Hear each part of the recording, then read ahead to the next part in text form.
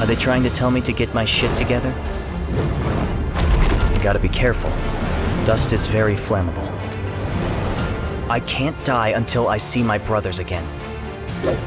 I'll pray once all of this is over. I don't think you'll need a grave. Move carefully, everyone. I hope it's not for nothing. It's always easier to destroy things.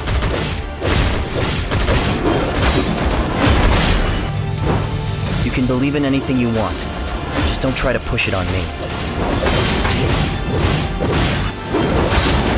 Don't worry.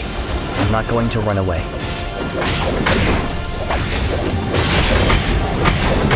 Get out of my way! I guess my patience hasn't run out yet.